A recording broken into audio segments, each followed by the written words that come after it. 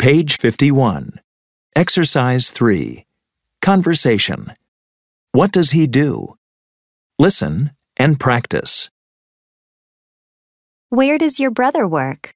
In a hotel. Oh, really? My brother works in a hotel too.